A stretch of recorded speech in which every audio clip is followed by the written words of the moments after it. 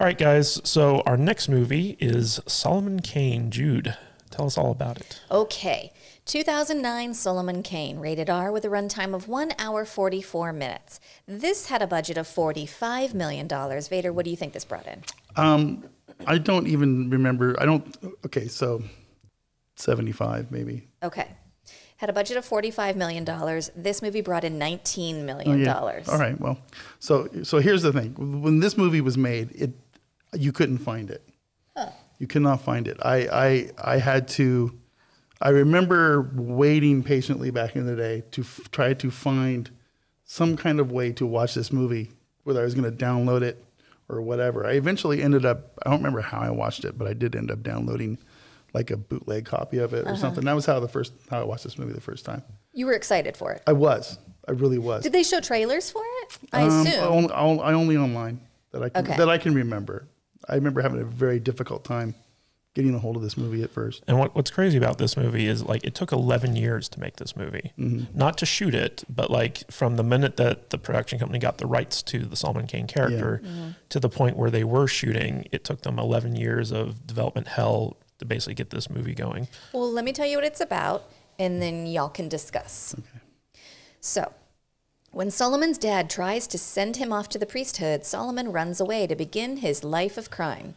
His dad sells Solomon's soul to the devil somehow, and after years of pirating, looting, and pillaging, he learns his soul is bound to hell and renounces his evil ways, vowing to never kill again, in the hope that this will kill, keep the demons off of his back.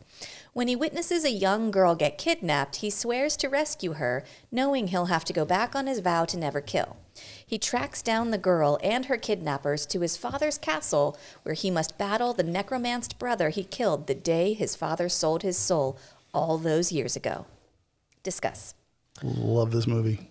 Really? I do. I love this. Oh my god, I hated it. It was Really? so boring. Oh, no. I was having the No, no, hardest no. time not falling asleep watching this. This this this movie encapsulates everything I want in this kind of a genre of a movie. Tell me It- why. It, it just does. It's it's it's dark. It's gloomy. The special effects were amazingly on point. Um, the only there's, there's there's not a lot of like boobs in this movie. I don't think there's any, but uh, um, it's just it's a cool story, man. It's just it's it's he's not a barbarian, but he's he's a He's a pirate. He's he's a pirate. and He's a he's a vengeful Puritan. You know, he uh, um, just the look, the feel, the the the the way this movie was shot. It's dark. You, you know, it, it if you, you have, you have to watch this movie in a dark room. So I did do that. um, I just I don't know. I don't. This movie just it clicks for me. Asking me why, um, I, I don't really know exactly why. It just it, it does. It just does. Okay, So- what, did, what did you think? Because we haven't discussed it since we watched it. So the character of Solomon Kane is an interesting one. Like, um, basically, he's the Punisher, right? So, like, this, this movie is an origin story for him, but in Robert E. Howard's writings, he's basically a psychopath who believes that he is, um, you know, empowered by God to mete out righteous justice to what he considers evil.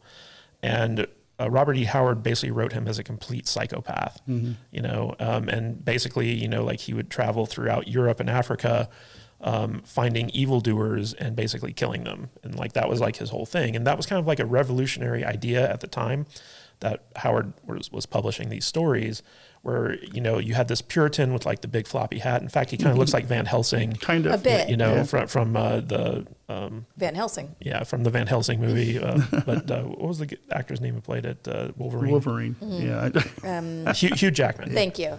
Yeah. So, um, so the character, you, you know, like basically he uh, believes that he's doing God's work, and therefore, like he's doing evil to kill evil. And there's a certain amount of irony in in the story. Well, you got to fight fire with fire. Exactly. So, uh, you know, Howard created this very interesting kind of like vigilante style character. Uh, and uh, he was a swashbuckler and all this other stuff. Uh, he walked around with like a like a voodoo cane that he would like beat people with. He had like uh, a rapier that he would fence with, and he had like two flintlock pistols that he would shoot people with. Uh, but we never. One of the things that made him so interesting was that like we never knew anything about him other than like what he did. And this movie tries to like flesh out, you know, his backstory uh, as to how he became the Solomon Kane uh, that we all know and love from the Robert E. Howard stories. And this was originally supposed to be the first of a of a planned trilogy that they wanted to do, but it performed so badly at the box office that the trilogy was unfortunately That's unfortunate. uh, you know, um, basically dropped.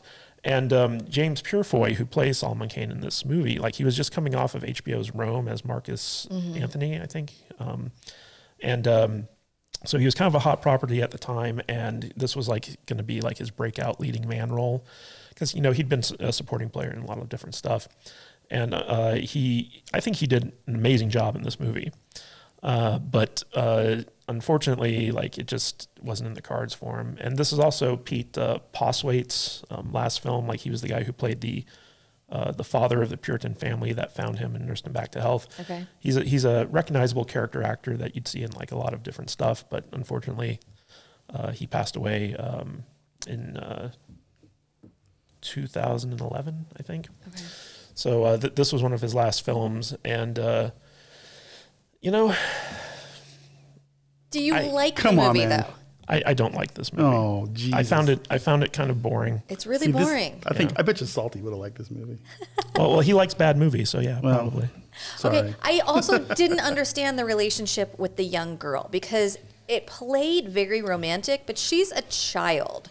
So even in that end scene where she's like on his chest and he's like caressing her hand or her face or whatever, and I was like, are they in love? No, because she I- looks twelve. No, I never got that off of that scene. I what I take is that uh, Solomon Kane has been kicked out of the monastery where he was where he was uh, re-examining his life and, and the way he was going to live, and they kicked him out because he is on a different path, and he hooks up with this family, and they basically adopt him. Yeah, we, we, There- we it's, should. it's a it's a brother sister kind of thing that he they they had with him. I don't know if they if they did a good job at relaying that, but Yeah. they they could they should have like maybe explained how long that he was probably with this family. we, we should probably set the, the groundwork for this for the people who Yeah, haven't ahead. seen this movie. So basically, Solomon Kane uh, starts this movie. He's the he's the captain of a privateer troop, which is basically Mm-hmm. pirates, and they're storming this um, this Muslim like stronghold to get treasure.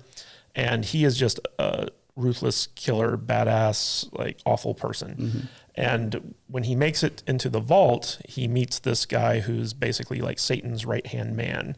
And he informs him that uh, you know he owns Solomon Kane's soul and he's there to collect. And Solomon Kane barely escapes, and so he seeks refuge in the church. And in order to keep from being found by Satan's henchmen, he has to renounce like all evil. And so basically, he becomes a Puritan.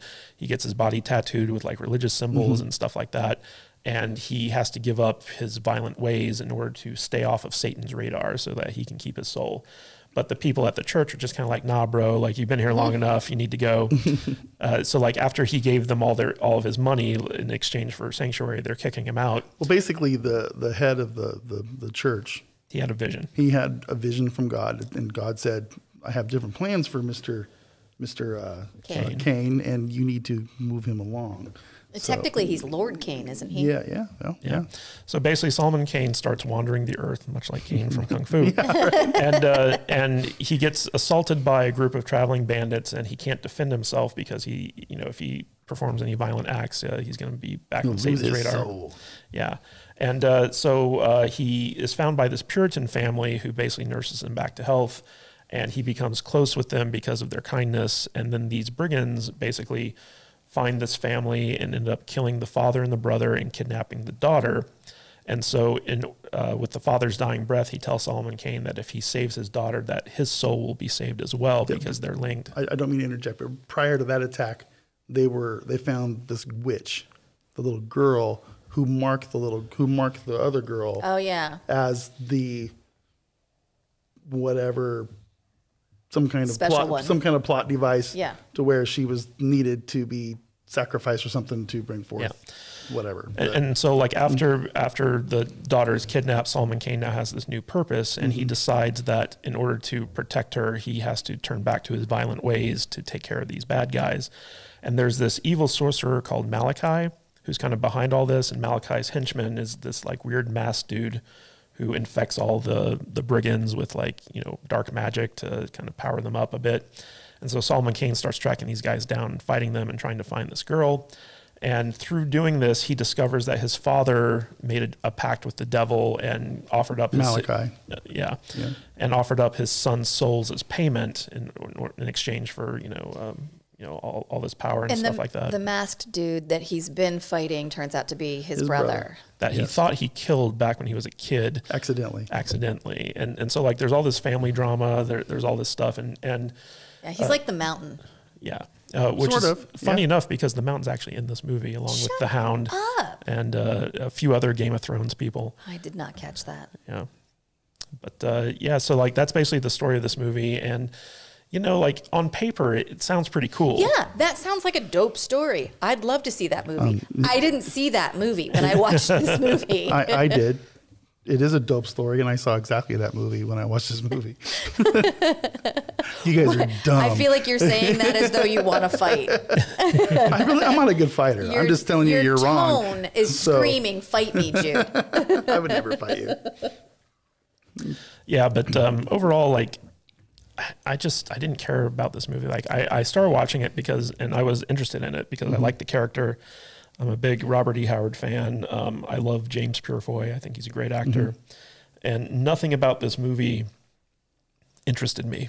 Like, we started watching it, and I was just like, I'm so bored. Yeah, I, just felt the to same end. way. Yeah, Vader, what did you like about this movie? so I, I much? there's really everything. There's really not a lot I didn't like about this movie.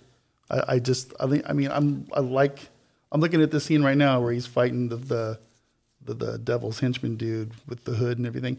Everything about this scene I like. I like the look of it. I like the aesthetic. I like the special effects. I like the story. I like the actor. Um, I I I don't know what else to say. I, I I like this movie and I don't really understand why you guys don't like it at least a little bit. It's crazy to me. So yeah, I don't know what to say. Jude, what made this a hard watch for you? Um, I I didn't get any of the stuff that you love about it, V.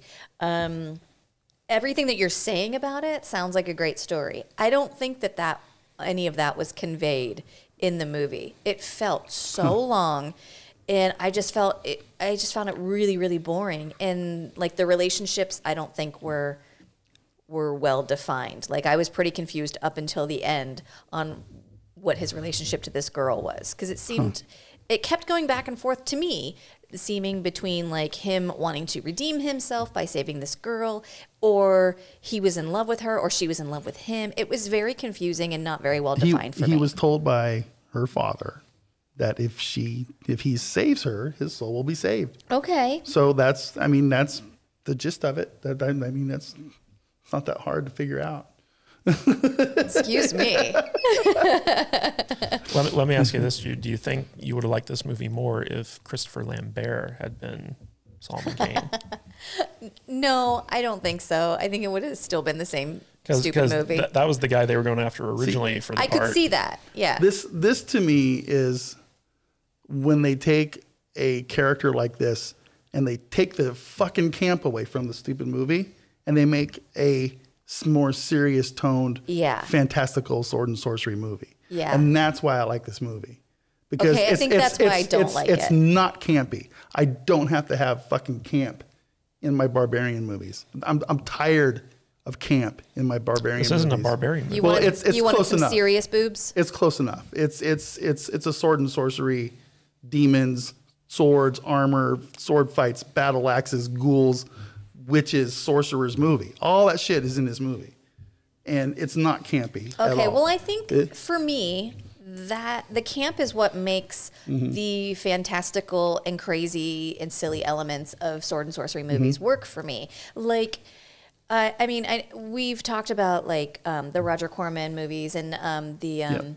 shit. What's that one that we love? Beast, or uh, Death Deathstalker? Stalker, Deathstalker, Death Stalker. We've talked about those movies those and, are great. and how remarkable they are in that they're so ridiculous Mm-hmm. that everything works. And it's the camp factor that makes rape funny and it makes like pillaging a Right. town silly. There- when if- it's when it's this serious, it just doesn't work if, for if me. there was a rape in this movie, it wouldn't have been funny, no, Not at all. Hell no. and it doesn't always have to be. And that So- I think starting right from the beginning, he's this terrible person, and Mm-hmm. there's no charm or camp to it, which I don't think helped me get on board with him throughout his journey. I, I feel like this movie takes itself way too seriously, it's which is one of the serious, problems with which was super boring. which is for me. probably why I like it. But I, I, I think like if if it was going to take itself serious, the biggest problem with this movie is that it it's not based off of any Robert E. Howard story. Like this is an origin story. I feel like if this movie was just about like Solomon Kane shows up, he's already a Puritan avenging angel, and he's just trying to save this girl, and we watch him be like a badass like throughout the entire movie without knowing his backstory, and and have like the magic be a lot more subtle as opposed to like you know the the big CGI vomit fest of demons and like whatever. Um, I feel like it could have been darker, could have been more serious, and it would have been way more interesting. Um, as it is right now, it's it's like a weird amalgamation of what we saw in Kull and like a Zack Snyder film. You know, like it's just it, it, it's it's very kind of like desaturated and broody and I don't know, like It's like It's not it's, for it's, me. It's dark. It's a dark movie. it- It like, really like is. like dark in tone, definitely. Um, and You know, I there's there's there's I remember when I was watching this movie, I was watching it on on Discord with some of our patrons. Um, there's a scene where he's in some crypts and he's fighting some ghouls. It's the first time I've ever seen ghouls actually portrayed correctly, as far as your classic like uh, Dungeons and Dragons style type of ghoul and stuff, and, and, and they were done perfectly. yeah, I think movie all of those were done really well. you, you know, there's just they, they got the they got the demons and the ghouls and the monsters and everything correct, and I and I, I I appreciated that in this movie. These demons in this movie are scary. Yeah. They're fucking scary. Yeah. You, know, uh, with with with the with the religious upbringing that I had, if I had watched this movie when I was 14 or 13, kind of might have freaked me out a little bit because it was weird. There's some there's some Well, uh, I'll deep say- shit in this thing. I'll, I'll say this for the movie, like uh, director M.J. Bassett, Mm-hmm. um, you know, he made a good-looking movie. yeah. Like like this this movie is really well shot. Um, I, I don't have a problem with any of the actors in the movie. All the actors did a, a good job. I just feel like it's the script, it's the story that I have a problem with, Mm-hmm. and it, and I just f- found the movie incredibly boring and slow. Yeah. And I think I wasn't it's like I couldn't categorize it. It wasn't um, it wasn't the typical barbarian movie or pirate movie, which has some camp to it. It also wasn't a horror movie either. So I couldn't figure out, I guess, what kind of a movie it was. And also, I found it really dull. Yeah, they, they tried to walk the line between making it a redemption tale and also like an adventure tale and a supernatural tale and a horror tale. Uh, uh, It was all those things.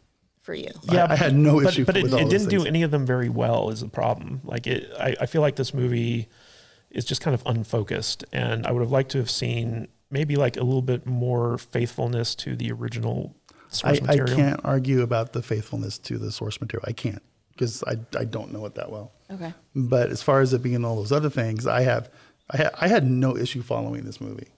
I had none. I, I I'm, I'm a little bit confused as to why you guys think the story is hard to follow, but that's okay. It's not I- hard to that's okay. follow. It's just boring. Well, that's your opinion. Yeah. it's okay, buddy. don't take it personally. I'm not. All right. Let, let, let, let's let's do final thoughts and ratings. Vader, what did what, what would you give this? Mm, man, um, I'm gonna go like three and a half stars. I think I, I, it's it's it's a fun movie. I really enjoy it. Um, I could watch this movie probably three or four times a year with no problem, just for fun.